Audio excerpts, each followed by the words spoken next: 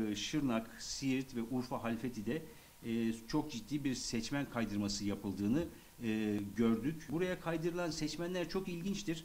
Oralarda HDP ile AKP arasındaki oy farkı kadar bir seçmen kaydırması oluyor. Çok açık seçim hilesine baş e, vuruluyor.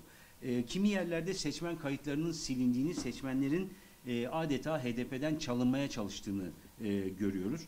E, Yüksek Seçim Kurulu'nu bir kez daha buradan uyarmak e, istiyoruz E, ve e, şunu hatırlatmak istiyoruz.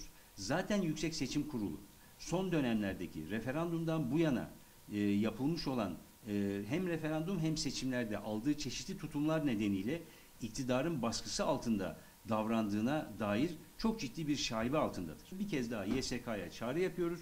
Yüksek Seçim Kurulu e, bu iktidarın attığı adımlar karşısında seçimlerin demokratik, adil ve güvenilir bir şekilde yapılması için önlem e, almalıdır. Aksi takdirde bu hile ve düzenbazlıklara ortak olmuş olacaklardır.